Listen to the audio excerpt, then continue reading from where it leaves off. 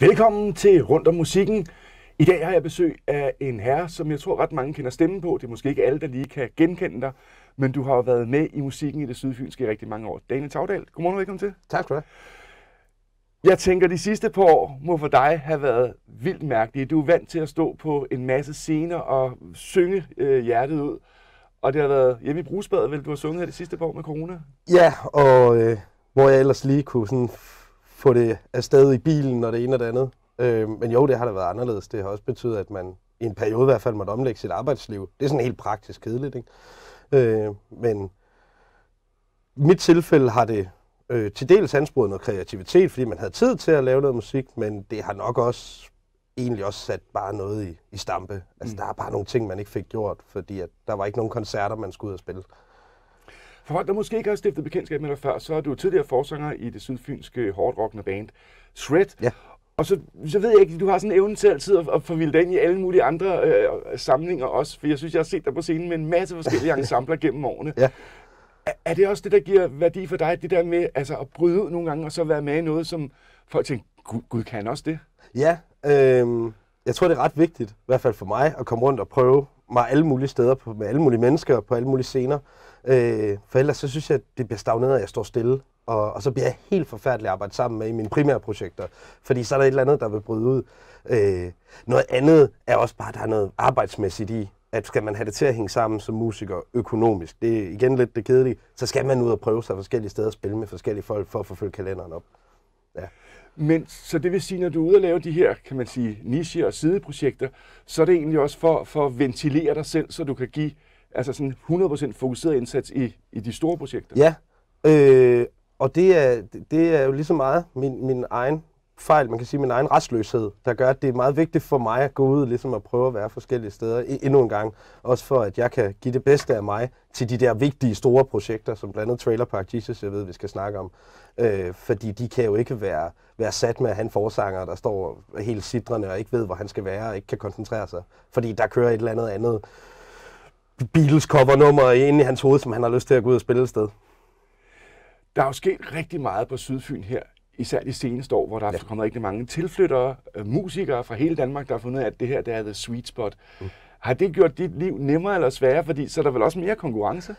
Ja, altså jeg synes langt hen ad vejen, det har gjort det nemmere, fordi at jeg får lov til at spille med mange flere folk, og jeg er så heldig, at de i hvert fald ikke nu har regnet ud, hvad mit niveau er, så de vil gerne spille med mig.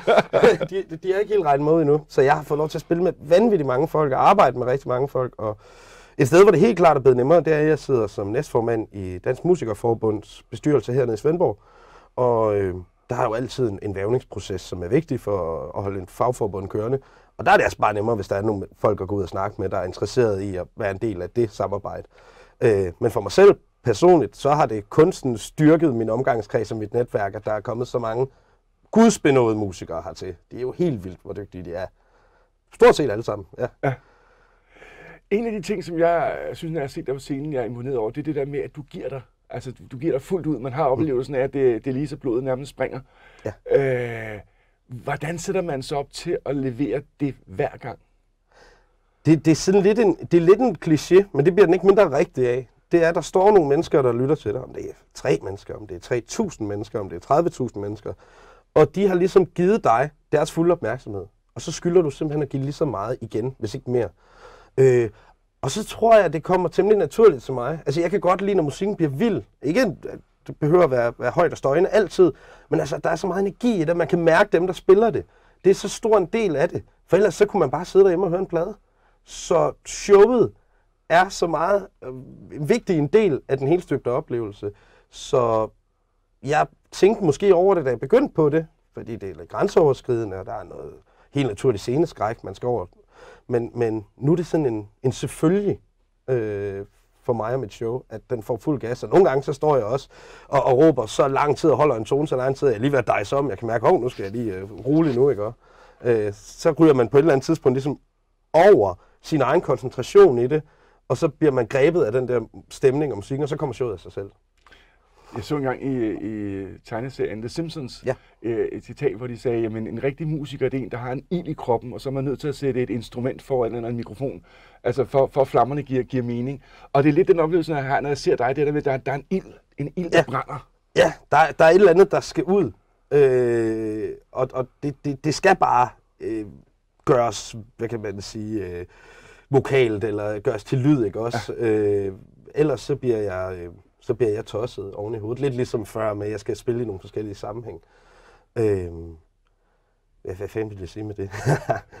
Jamen, så det med, at, at, at du giver dig fuldt ud, det er også altså, i respekt for publikum. Ja, det, det, er de der to, altså er de to punkter, det er respekt for publikum, de har fortjent et show, og så er det fordi, at jeg den dag i dag ikke kan lade være. Altså det, det, sådan skal musik bare være i min bog. Men det er jo sjovt, fordi nu har vi jo og snakket, inden vi gik i studiet, og du, du er en hyggelig, stille og rolig fyr. Hvordan laver du det der skifte til, til at så blive den her super energiske kraftkæl, der står på scenen?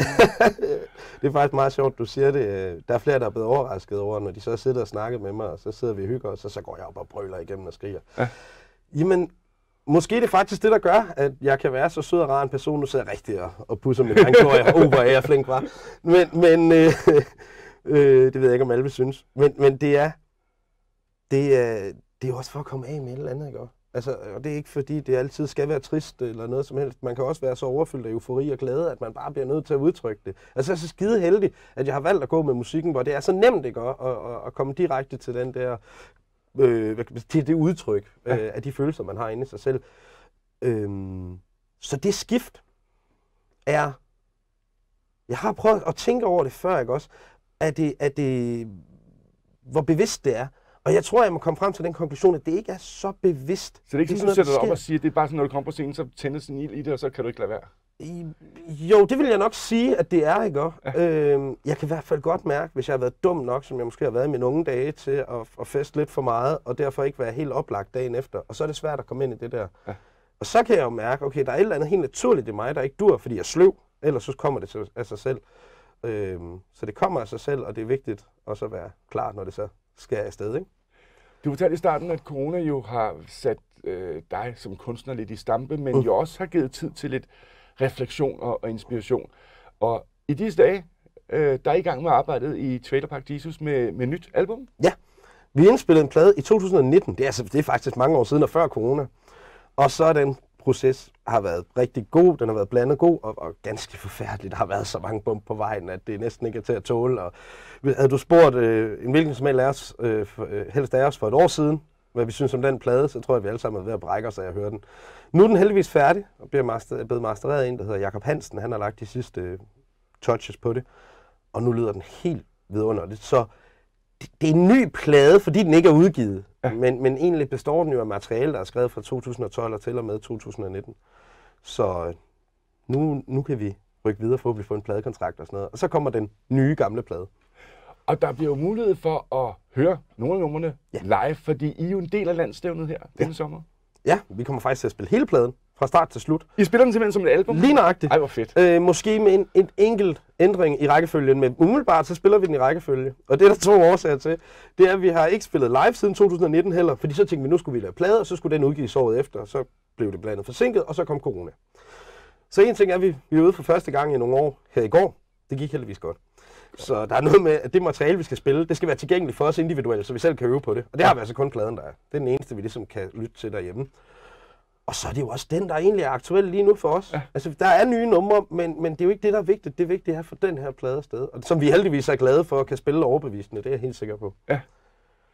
I kommer til at være en del af den scene, der har en masse lokale øh, artister. Det bliver ja. på Jessens Mole, og det bliver sådan lige foran øh, Fremtidsfabrikken nummer et, øh, at, at I kommer til at spille der.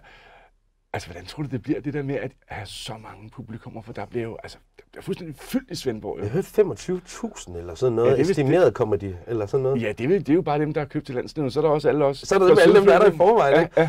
Jamen, ja, ja, der er jo nogle temmelig store konkurrenter, må man sige. Der er jo nogle ordentligt store artister, der spiller i løbet af de dage der. Men jeg håber, der er nogle af de lokale, de vil kigge forbi, og selvfølgelig også nogle af gæsterne til landstævnet, så vi kan få et ordentligt publikum.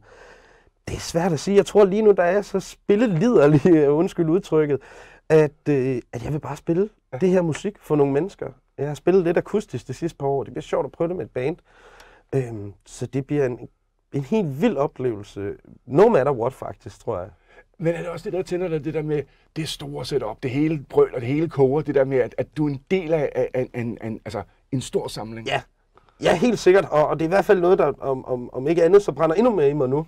Fordi nu havde vi så de her corona-år, og jeg ved at spille rigtig meget selv. Det kan jeg også godt lide. Og det havde måske også savnet lidt, det der med, det kan en anden ting, den der en mand og en guitar. Der kan du gøre ja. nogle andre ting, og du kan få nogle andre stemninger i spil. Men jeg må nok sige, at jeg savner det der med de, de store guitarforstærkere, der står brøler og trommesættet, hvor han hakker igennem den gode trommeslager Mikkel, vi har. Og ja. Johannes, der står på bassen og holder den dybe sop, og man bliver sådan helt øh, hjerterytmen, den står lige og slår et par slag over og sådan noget, fordi det er så vildt og så intenst. Øh, så det bliver helt sindssygt, det er jeg helt sikker på. Altså, jeg kan allerede få mit indre øje se det for mig. Jeg tror, ja. det, bliver, det bliver fantastisk. Vores tid er desværre gået. Vi kunne snakke meget videre, men vil du ikke love mig snart at komme igen, jo, når jeres album kommer? Det gør jeg. Det er en aftale. Så snakker vi. Det var rundt om musikken i den her ombæring. Nu er sommeren her endelig mulighed for at opleve musikken, som den opleves allerbedst, nemlig live. God sommer.